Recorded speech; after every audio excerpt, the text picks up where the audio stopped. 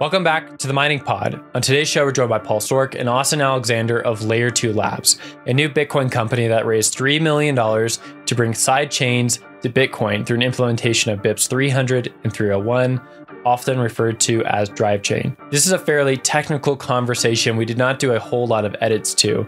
We talk a lot about drive chains themselves, how Bitcoin miners can earn more fees through drive chains, the history of sidechain implementations, and how this whole thing works with the Lightning Network.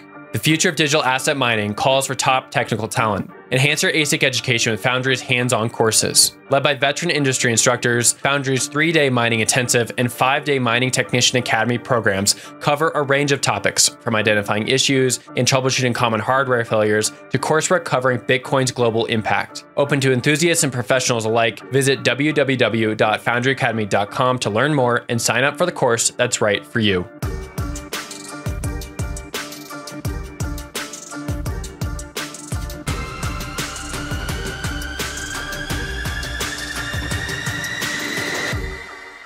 Paul, welcome to the Mining Pod. Big news for you both. Uh, announced a $3 million seed round for Layer 2 Labs to bring hopefully an end to the altcoin shenanigans in other worlds uh, by implementing drive chains for the masses. But welcome to the show. Thank you both for joining. Hey, thanks for having us. Cool. So we'll start off with a little intro. I, I don't think a lot of this audience, and we even said this before we started, uh, you guys don't know a lot of miners, or maybe you do know a few here or there who are mining at home. But uh, our audience is probably not familiar with you. So I'd love to get an intro from both of you. Paul, hand it off to you first uh, for an intro, and then to Austin. Then we'll talk about Layer 2 Labs. Okay, I got into Bitcoin uh, a long time ago, uh, like uh, 2012, 2013. And uh, I wrote, I started blogging about people were discussing all kinds of topics. And I wrote once a famous essay uh, called Nothing is Cheaper Than Proof of Work. And so I started this blog, truthcoin.info, in 2014. And I did that both to talk about Bitcoin concepts and also to promote this peer to peer Oracle software that I had written. That was called Truthcoin, actually. And that was supposed to be for Bitcoin prediction markets, which is a whole different thing that we can discuss. But that was how I kind of got in. And then I was actually hired into the industry to work on that, uh, which I did. And then while I was doing that, I presented at scaling Bitcoin. I got into side chains. And eventually I authored these two BIPs, 300 and 301, which are about side chains and merge mining. And now that has led us here, basically. To this podcast. Austin, hand it off to you, though, for an intro before we jump into Layer 2 Labs. Thank you. Uh, yes, I first was became aware of Bitcoin in 2011 and um, was kind of just a a hobbyist on on the periphery of my interests. And then in 2013, um, started getting there. There was like a Bitcoin conference in in New York, and I went to that, and uh, um, I started getting uh, really, I would say, obsessed at that point. Uh, and so at the time, I had been working. Um, uh, we were doing like uh, election consulting. And I basically told my boss that I wasn't going to do anything but Bitcoin anymore. And it was the only thing that mattered, the only thing that was important. And so at first, obviously, he didn't take that very well. But uh, after a few weeks, I think he, he came around and I convinced him, saw the light.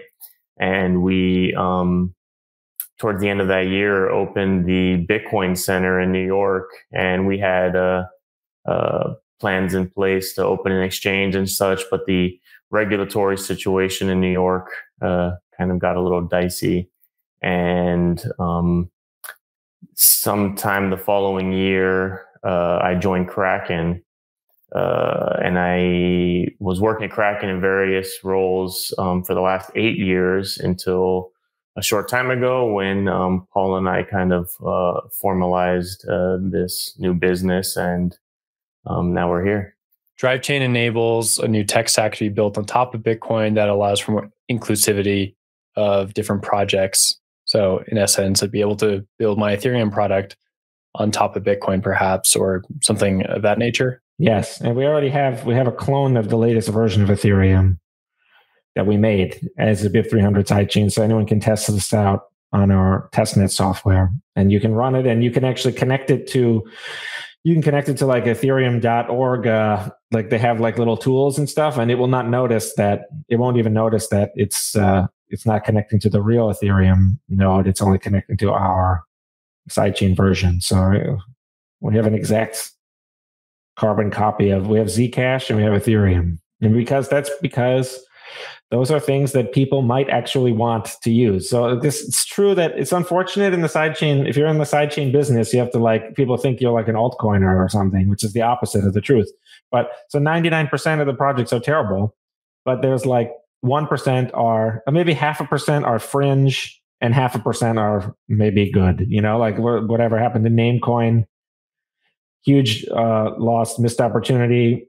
Uh, prediction markets, I think, is big. I think you know so we have lots of ideas that are, that could be really big and we have some that are fringe and the idea that we could have a zcash level privacy uh, you know just i don't know like if you're familiar with how bitcoin is used today there's lots of privacy issues it's a lot of hard work to maintain privacy there's lots of phishing when uh, when bitcoin is used in commerce people don't like they have to give a new address every time whereas in zcash the addresses are reusable so so the idea that it has no merit and that no one would find such a thing to be interesting, I just think cannot possibly be the case. Uh, but you know, who knows? But that's the thing is we're going to build this option for people, and if people don't like it, then they can walk away uh, un- unharmed.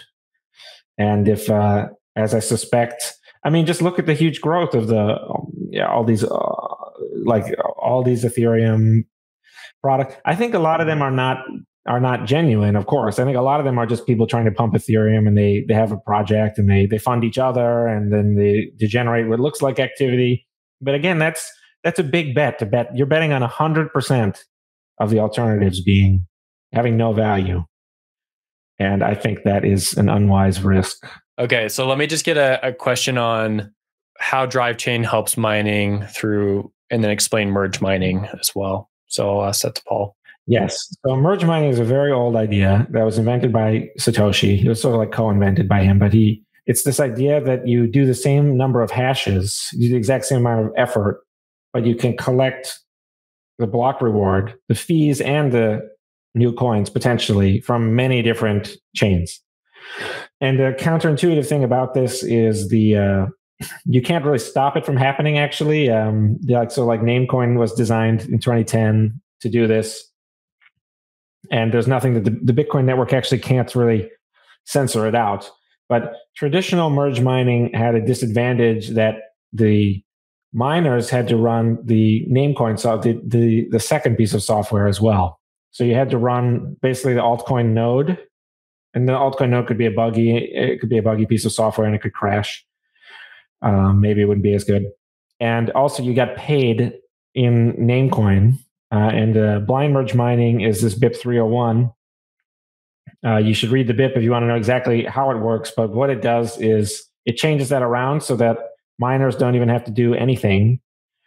They just co- they just uh, collect all the transactions that pay the highest fee, and one of those is one that nets the fees over. So they get paid with layer one BTC coins, and they do not have to run this is the blind part they do not have to run any new node software. So miners basically have to do absolutely no extra work at all and they just get paid all the trans the sum of all the transaction fees of all these other chains which could potentially be i mean this is not going to happen tomorrow but there's no limit to how high that can go. That could be that could increase mining revenues, you know, like a thousand times or 10, even 10,000. When you factor in the increased usage from fees and also like increased price because the coin can now do anything.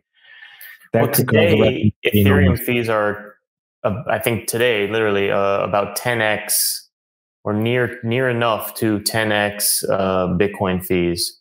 So let's just say even a a fraction of Ethereum fees. Like, in a, let's say we were in a post drive chains world and there was um, a chain or a number of chains that were um, usurping part of the usage of the uh, Ethereum, even a small part, let's say a tenth Okay, it would double the fee revenue for miners today with a tenth of the Ethereum usage on a Bitcoin or a number of Bitcoin side chains. And they no, and we're doing no additional work at all. The history of side chains is definitely something that I've seen in the drive chain chat, spoken about a lot. Uh, Blockstream's name gets tossed around a little bit, but the history of side chains is something I think we should talk about a little bit before we dive more into the benefits of drive chain and how it works on the mining side. Uh, so, Austin, I throw it over to you. What's the history of side chains in Bitcoin and how they've been interpreted, and how we've ended up with drive chain uh, in the seed round? So, when you first, uh, first, I think I had heard of it was in 2014, early 2014, um, and it was, um, I think, just prior to like the big announcement of the Blockstream having had raised that um, largest uh, funding round in the industry at the time, and, and, and at the time it was it was it was quite something. It was really impressive. Uh, uh, it was almost jaw dropping to hear that they had raised twenty one million dollars was um, was unheard of.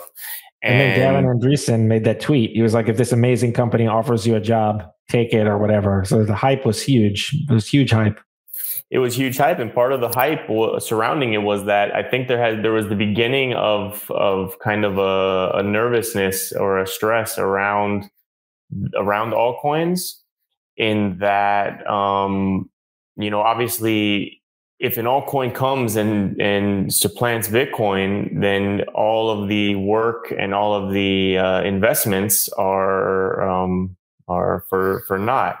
And so I think you know, now we've seen that tension um, grow into what we have today, where you know it's quite obvious these factions and um, you know there's there down the line there they turn into you know nearly cults. Just mention any altcoin, uh, you know, the trading symbol in Twitter, and you'll see the cult come right into your mentions uh, really quickly. Um, but that wasn't that, that, didn't exist back then. It was st- and it was still a very much us versus them. Us as in you know everyone was Bitcoiners. Even if you were using Peercoin or Feathercoin or you know speculating on even the most obscure coins. In fact, even Ripple back then, uh, they you, I think that first and foremost they were they were they were Bitcoiners, and it was all thought of as as kind of one thing. It was us versus the banks. It was be your own bank, or it was us versus the central banks, or you know us versus the world. Um, and uh, you know, I really don't know how exactly that fizzled out. Um, where Blockstream pivoted, and they've definitely eh, done a lot of. Uh, they've done a lot for Bitcoin, and they have some uh, great products and um, I think the company's been very successful and uh, has uh, become quite valuable. But abandoning side chains was think was very detrimental for Bitcoin um, because like Paul said. Um, side chains on Bitcoin are a coalition building mechanism. In it, it, it, it, it kind of uh, it's something that unifies all the tribes, and so it can it can it can really be powerful. It um and, and you know not only does it, it, it does it uh, uh, unify it, also uh, some, something I think that's really important aspect is if you in, in a post sidechain world, liquidity would be aggregated, uh, the fee markets would be aggregated. Um, and and and you wouldn't see this kind of uh, uh, disbursement of liquidity across all these these random coins. Uh, I think it would be uh, the Bitcoin markets themselves would be a lot more liquid. Anyway, you've asked me about uh, the history of sidechains, so that was the the beginning of it, and you know, I think the, the obviously the block size war was a was a big turning point in like the politics and the culture of Bitcoin. Um, it would have been a really important thing for side chains to have had existed prior to the block size war for um, because of that coalition building aspect of side chains. Um, and we could have maybe avoided all of that drama. And in fact, all the big blockers, they could have created their own side chain or multiple side chains and continued to hold Bitcoin. And all of that value would have accrued to Bitcoin, all of the value and all of the tension and stress that was went off into all these altcoins would have stayed in with Bitcoin. And um, maybe Paul can uh, interject with maybe those middle years of the sidechain history. Well, yeah, I mean, I'd be happy to tell everyone exactly what I experienced firsthand, which was that I got into Bitcoin. I was like, Bitcoin is super cool. I happened to be into prediction markets separately. And uh, prediction markets are also, they're actually subject to failure in sort of a similar way. So I designed this thing. I didn't, I wanted it to be prediction markets on the blockchain. So what you might, what today might be called smart contract or whatever and I wanted to have this peer-to-peer Oracle thing. So I, I started designing this and I was like, there's no way you can bolt this onto Bitcoin. It's just like an opcode or something. You need all this custom stuff to be happening and it's very convoluted. So I designed my the own block. I designed what was basically an altcoin. That it, I, call, I called that project Truthcoin. But I was a big Bitcoiner at heart, so I never even like I never considered launching an altcoin. I was just doing it for the tech, you know, of course. And uh, and then Blockstream came out with this idea, the side chain, and I was like, oh, perfect and I wrote to them about it. They wrote back. We were talking about, you know, uh, a partnership on the idea. We were talking about all this, you know, like how how to, the right way to do side chains, what to do, etc. They came out with this paper in October 2014. The paper had an idea called the skip list in Appendix B that, as far as I am aware, was never built by anyone. And they had in Appendix A, they said, if you just send it to a multi-sig wallet controlled by us and then we can we can like simulate the side chain and then we'll give you your money back. We promise. And we'll have lots of other people be in the multi-sig. So this is a very very naive idea that did not involve any technology and did not involve anything new. It was not a way to simulate the altcoin but they but they were like they were being realistic from an engineering point of view and they were saying this we have that's a lot of work to build that other thing you know like it's like kind of like how they have uh, the astronauts practice in like a centrifuge or something before they build the actual rocket. So they they had this thing and it was explicitly mentioned several times you know and i have the video and all the bookmarks and everything. It's explicitly you know many people made it very clear that this was just kind of like a test type of a thing. Uh, that was 2014 uh, I got in, I got uh, I was uh, I was looking at maybe working with Blockstream more formally to work on this prediction markets thing. Instead, I met I met Blockstream in November 2014. Then I met Roger Ver in, in December the next month, and he just paid me immediately to quit my job and start working on it, and which I did, and that became what was on BitcoinHivemind.com. Now the software that is sort of you know software is never completed per se, but so I was working on all that and then uh, the block size war s- started to happen. Scaling Bitcoin one was at was in September 2015. And then I was like reading more carefully because I was finishing the project, the sidechain project. The so I was finishing the software for the prediction market. This prediction markets, this fringe kind of prediction markets idea. That is a weird idea, and I don't expect. I never expected anyone to like get a huge buy. I was like, this is just my weird pet idea but I was like, how do I turn it on as a sidechain?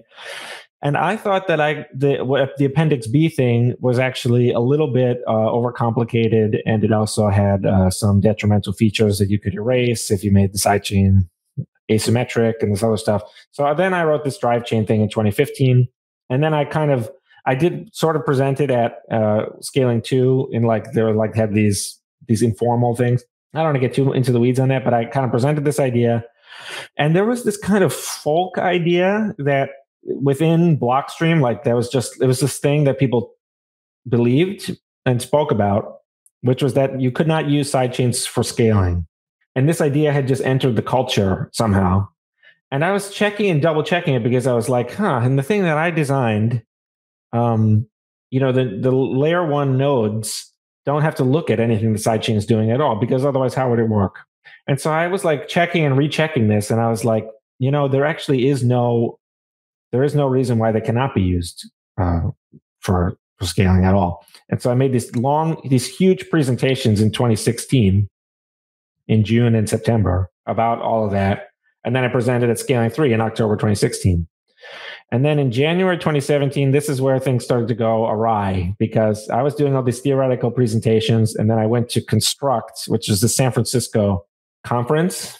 And there, Blockstream presented on this strong federations thing. And that meant that they had spent all the intervening years doubling down on the the the practice temporary idea and that for some reason they had given up on actually building the new technology idea. So then I was very dismayed and I thought, I don't know what's going on. Like maybe they found some kind of problem, uh, or maybe they are giving up, or maybe they just want to do the easier thing. And I don't know. I don't still to this day have no, uh, you know, I don't know exactly what's going on with that to be completely 100% honest with you i don't know why but i did look into it and i think they have just a mistaken view on on merge mining they have there's something where they believe something that's the opposite of the truth and i wrote about that uh, last october and just to just interject and clarify here what we're discussing is the liquid federated network which operates more or less as like a very convoluted multi-sig in order to peg in your Bitcoin, you hand it over to Blockstreams Federation, and then you have Liquid Bitcoin, which can interact on the Liquid blockchain network, interact with its dApps, but it doesn't have the trust assumptions or the parameters that a lot of people wanted for sidechain to actually have. And I think you've even said at some points that's it's not really a sidechain, it's just a multi-sig. Well, it, it, it lacks the the dis, I would think the distinguishing feature would be like you have something like Monero or whatever, and so the question is, how do you how do you quote use liquid to to have like a bit monero like a, a simulated monero? Like you're using these ring signatures and bulletproofs of monero but you use you're spending bitcoin. And the answer is with liquid you have to like find a new you have to find your own federation. But you see that's the the entire content of the idea is the federation. So you have to do all the work yourself. It's not really doing anything. The idea is not doing anything for you. Whereas instead, it should be like a process where you just say, I want, I click this button and I, and this, now here it is. Uh, so I don't, um, it's uh it's kind of a little bit of a circular reasoning. It says that the but you know they have they have a strategy behind that. What they try to do is they try to say, listen, on Liquid, what we're going to do is we're going to make everything so private uh, and we're going to geographically distribute the signers and it'll be private and this will these will people they'll just be like blind signers of just this they'll just be blindly executing this software but that doesn't change the fact that whoever has the multi-sig keys can just leave with the money and that is the that is what it is so around that time and i'm condensing history around uh, around it a little bit uh, we had Blockstream building Liquid, which was probably like the most notable sidechain design for Bitcoin. There's a few other things out there like Rootstock, Stacks, etc. Uh, but the main focus shifted to Lightning around that time and has continued to to build up. Uh, where, Liqu- or Lightning is the de facto layer two of choice for most Bitcoiners, and Drive Chain implicitly would be a competitor to Lightning or an alternative Lightning or make Lightning obsolete. Uh, curious to get your take on it. Um, not asking necessarily for any hot takes on Lightning, but uh, just some context for how drive chains and Lightning fit together in the Bitcoin stack. There are ways in which it would compete, and there are ways in which it would cooperate. Um, I think the uh, like Lightning Network has a distinctive advantage in the, the fact that the payment is instant, um, whereas this has a relative disadvantage because with merge mining, the best you can do is one block every 10 minutes. You can do weird other things where you can change the, you can try to speed up the block time using these weird uh, hacks, which is possible, but not really as meaningful. So, in a sense, the confirmations are slower on the side chain. Uh, so that's one way in which Lightning is superior as a competitor. One way in which they might collaborate is that Lightning cannot onboard without the use of bytes on whichever blockchain you onboard to. So the layer one block size is not large enough to onboard the entire planet to Lightning, to say the least. But you could have people onboard. The coins could go to the sidechain first and then onboard to Light, Lightning there. And so then it would be onboarded to Lightning in a different way there's other there's all kinds of ways in which they would uh, they would be uh, there are advantages and disadvantages. And the, the key thing is really that the, the end user should really be the one who decides what they use and why. Uh, I think it's a big mistake to obviously, you know, as like an engineer or scientist, you'd want to make an intelligent guess at what the user would probably want. But uh, this is a case where they would be pretty different, and I can you would think there'd be a lot of a there would be a big appeal uh, for certain. So the one thing that I think a lot of people get wrong, which is very uh, disappointing, because it's so important, which is that d- different people are very different, and different transactions are very different. So like you have Ross Ulbricht when he goes and buys his coffee, he might use something completely different. He might use large block, a large block sidechain or something, but that doesn't have X super strong privacy or super strong decentralization because he's buying coffee and he's walking into Starbucks and his face is on the security camera or whatever. And then when he goes home and he does Silk Road or whatever, you may you, you may want to use something completely different. So uh, people are different, transactions are different, and that is why. Um, but yeah, the, those are there are big differences between the onboarding is the biggest difference, the biggest advantage sidechains have over Lightning, and the speed is the biggest disadvantage would have. I Austin, I'm curious to get your take on this, and Paul, again, if you want to pick it up, what is the cultural difference here? I think so with side chains, they kind of got batted down. We saw Vitalik boot up Ethereum. It's taken a lot of those transactions. People have wanted side chains, but the Bitcoin culture has not wanted them. They've chosen more or less Lightning. So Drive Chain seems to be a rebellion against that, pushing back against the grain a little bit. We've even seen that in some Twitter interactions so far since you guys made the announcement on Tuesday. Do you guys see it in that lens? Do you see it as something that's like kind of pushing against the grain? Uh, and do you think that there there's a chance of this something like this getting implemented in Bitcoin with such a strong push and dominance on Bitcoin ossifying as it is right now? The culture of Bitcoin, uh, first of all, obviously, it's not monolithic, um, as as I think many of us know, and no one person or even one faction or uh, kind of you know I don't know how how they describe these days. You know, obviously in the past we we had the big blockers and the small blockers, but in that in the current moment, it wasn't so clearly defined. Once you move forward from that, you look back and like, oh, that one he was a clear big blocker and he was a small blocker, and but at, at, at, at you know as that was all kind of developing, it was a little bit more ambiguous.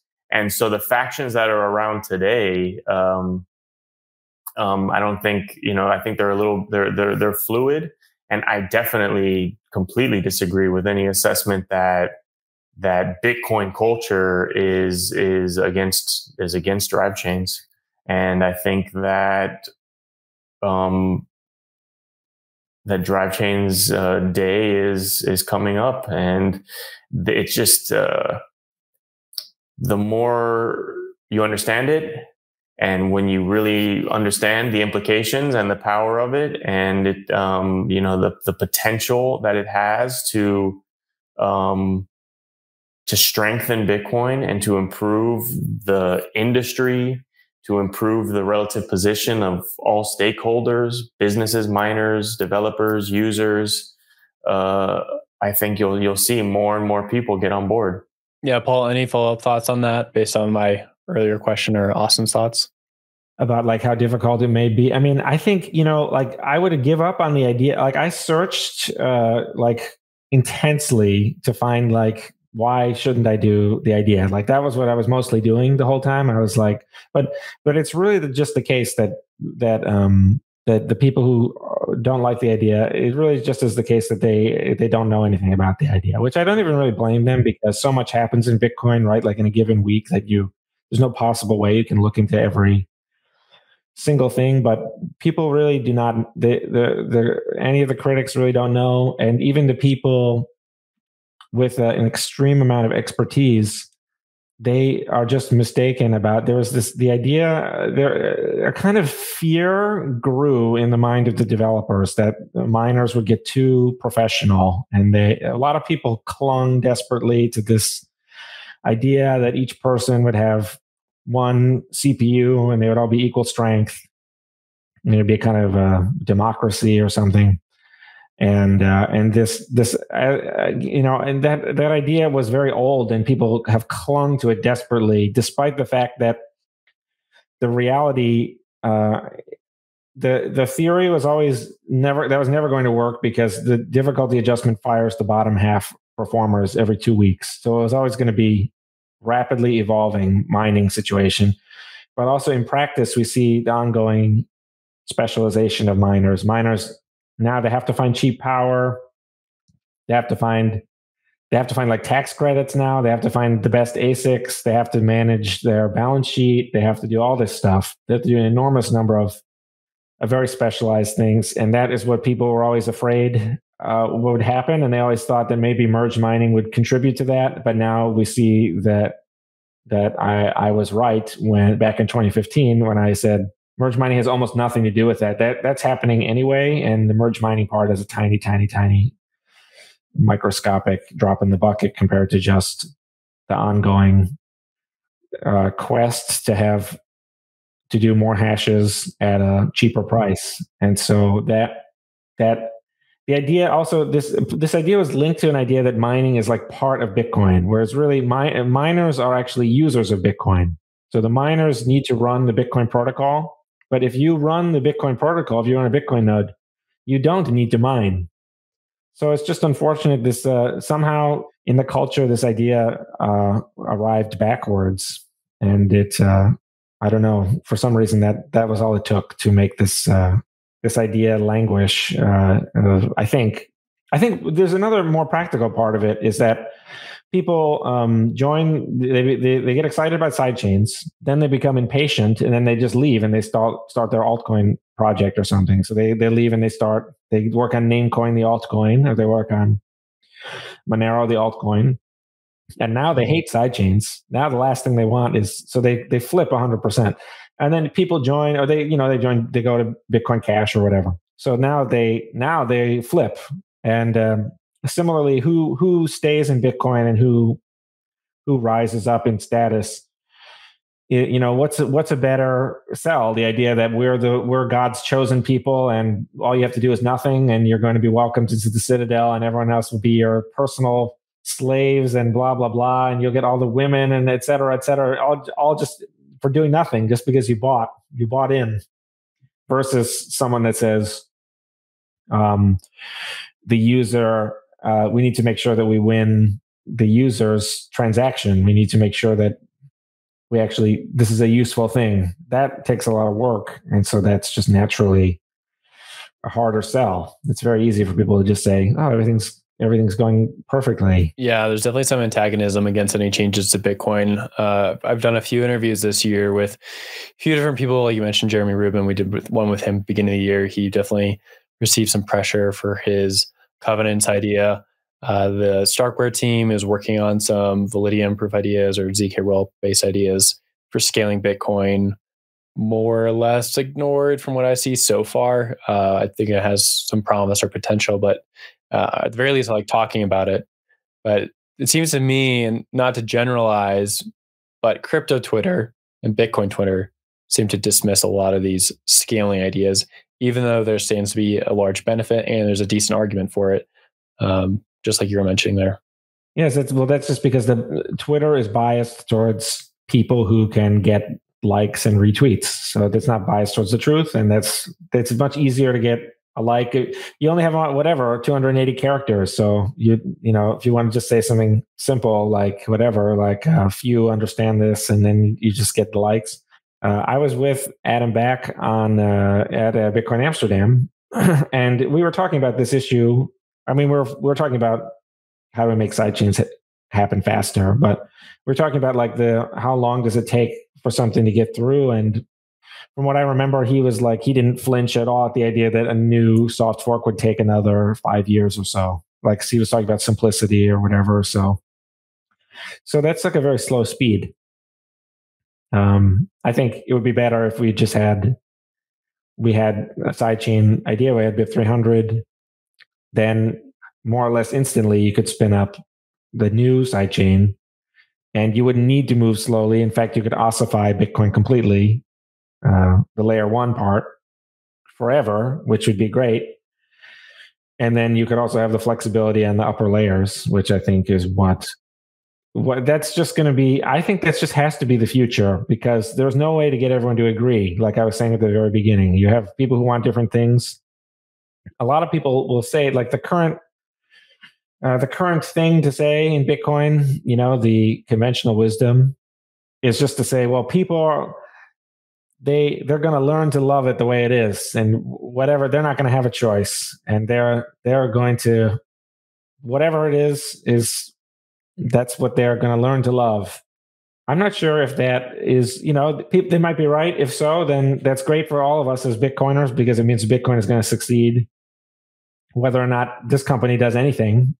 And so that's great, good for us. But if uh, if if there's any chance that something else could become more uh, popular, um, that's an existential risk to Bitcoin, and so we should at least keep an eye on it. I, I think the user is going to decide what they are going to use. And a lot of people are going to use like whatever, Venmo or something. So we've got to get, we have to compete for the user. Uh, that's what I think is uh, a neglected topic. We, everyone's just saying, well, well, they'll be forced to come in. Well, maybe. I mean, okay, if that's the case, then everything will be fine for for Bitcoin. So then, if you believe that, then you don't need to worry about anything, right? Because so then why you why you listening to a podcast? Why you why you just you know go for a walk and just wait for everything to work out perfectly without anything changing? But I don't know if that's in the cards. Yeah, it's a fairly deterministic way of looking at Bitcoin. Uh, just to wrap up here, we'll talk about the BIP process, what you guys are expecting for that. Um, in a minute or two, Austin, just want to throw it up to you. What is your guys' thoughts right now on using layer two labs to push forward with the BIPs. And are you guys worried about that whole process? I mean, the BIPs have been out there for quite a while. There's test nets. Uh, there's ways to you know practice with them. The software is out there and has been for quite a while. Uh, well, what is your thought with Layer Two Labs pushing forward these two BIPs? Well, I'm just going to interrupt and say I think it's education or whatever. I mean, Austin, you can you can say, but I think we're going to try to do that education, communication, uh, idea coalition building, and you know demonstrations we're gonna we're gonna release more software that does the stuff. But so yeah, but I am worried about it. Yeah, I think it's um I don't know, like even what, but it's just again the idea. The, the only reason that people don't like the idea is because they don't understand it really, and uh, the idea is very. The, I designed it from the ground up to have no risk to the layer one base chain, but there's to this day there's still confusion about that. So, and I in the original 2015 post I wrote about why it why it could not negatively affect and then i presented in 2016 so but still that's confusing thing so i think that's what we're going to try to do i think austin if you yeah a big goal of the formation and formalization of the company and this effort is um, to kind of uh, push forward this education initiative uh, in, in, in, a much stronger and more effective way. Um, you know, it it is it is complicated, but from a technical aspect, I think it is a lot less complicated than many other um, many other BIPs or uh, um, kind of uh, blockchain um, uh, technology. Uh, uh, you know, things like rollups and, and stuff like that are, are, are far more complex. That once you actually dive in and understand the mechanism um, and the security uh, of drive chains. I think it's it, it, it, I think a lot of people will be able to grok it. Uh, I think a little more quickly than some of some other some other concepts. Um, but but you know from being on the periphery of it for years and you know even going through the process myself of of through various stages of understanding because when I when I first heard of it, I uh, you know I didn't immediately understand. I definitely wasn't immediately a, a, proponent. I was quite skeptical, like I am of of everything in this entire industry. Drive chains has been one of the few things that that I think on every time I look back on it, um, it I, I, I kind of it becomes more legitimate in my mind, in my eye as opposed to like everything else where you look back and be like, oh, you know, things that, you know, you had open, been open minded towards and and close up. Um, yeah, I think it's very important that we just kind of present ha- the how it works and the benefits of it in a way that is um, digestible and and uh, explains all these things uh, very simply. That's probably one of the main focuses of the company and, and kind of our first stages. Uh, as far as like worrying about the BIP process, I mean, I'm sure it, it, I'm sure it's not going to be easy, but um, I think the, the best thing we can do is just try to build out that coalition and uh, we'll, we'll see what happens. Um, you know, even if eh, I'm still very, very bullish on Bitcoin long term, um, with or without drive chains, I just, you know, I think that I've come to believe that if drive chains were in Bitcoin today, it would be a very different industry and a very different picture on a lot of fronts. And I think Bitcoin would be far more valuable, to be perfectly frank. Um, I think it would be far more liquid and I think it would be far more valuable. And it's one of the main reasons I'm such a big proponent. And, you know, there's a lot of people out there, I'm sure, that would like to see Bitcoin become much more valuable, uh, more secure and, and more liquid. And I think drive chain is just sitting there on the table ready to be deployed and it's one of the most powerful tools that um, bitcoin has there in its potential arsenal uh, you know it's a, one of the most powerful arrows in bitcoin's quiver that has yet to be fired uh, so actually apart from being worried i'm i'm i would say the opposite because i'm bullish on bitcoin without it but i'm ultra hyper mega bullish with it. So if we even have a small percentage chance of getting um, these BIPs merged and and drive chains implemented, I think it's it's it's it's very it will it will be a very uh, you know I don't want to talk in investment terms, but I, I think it would be it's going to be a very beneficial thing to all stakeholders. And so, yeah, I would say I'm I'm actually quite excited about it all. Oh, hopefully this podcast can be a great first step in towards educating people about drive chain. Uh, let's get last thought. Where can people find your work? Drive chain, Telegram, Twitter. Is there a blog post, things like that? All first to you, and then back up to Austin. Well, we have uh, we have drivechain.info, which is like that's kind of like the gray matter.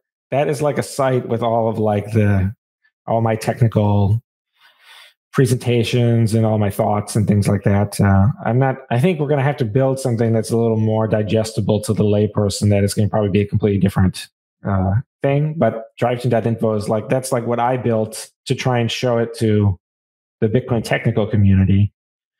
Uh, and so there's enormous amount of stuff there, including there's a cool YouTube uh, playlist where tons of videos, and you can just click through. And if you don't like one, you can just click to the next one or whatever, do whatever you like. There's presentations, there's debates, there's me on a podcast, there's me on a panel, there's all kinds of stuff. So, so we got lots of that. And we have the software is there too on drivechain.info. So we have software that you can download uh, and you can see for yourself. It's testnet software. So the Bitcoin isn't real, but, uh, that's only because it hasn't activated. So uh, you can see what it would do if it were if it if it were real with your own two eyes. And then that's great too, because we actually put a lot of effort into the GUI and to try to make it help explain um, what's happening. But yeah, that's uh, that's like its own thing, and we want to work more. That's one of the other things we want to do is we want to work more on making that easy too, make it very easy for people to download and try the software for themselves. That's the only way anyone will really know uh, what it's doing and it's very well done. It's um, far from vaporware. This software has been uh, actively worked on for for years now, and so I think um, for people that have that level of interest, uh, I would I would recommend to download and try it out because it, it does work very well and and and definitely drives home uh, I think an understanding of of drive chains and what it what it could be when it's when it's merged into Bitcoin. There's also there's there's there's some uh, fan sites, um, drivechain.xyz, and and we're working on uh, kind of a layer two labs. Um, right now we have just a uh, like a placeholder site with our company mission and such. But um, we're working on a more extensive site that will explain these things in layman's terms. Uh, and that should be up short uh, soon in the next few weeks. Awesome. You guys, awesome Twitter account, Medium, any place to follow people for people to follow you? Yeah, I have a Twitter account is uh, BTC is money. Um, I'll probably try to be a little more active there now than in the past. Awesome. Well, thank you both so much for joining the mining pod today.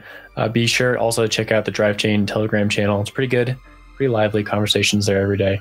But again, thank you both so much for joining. Thank you. Much appreciated. Hey, thanks for having us.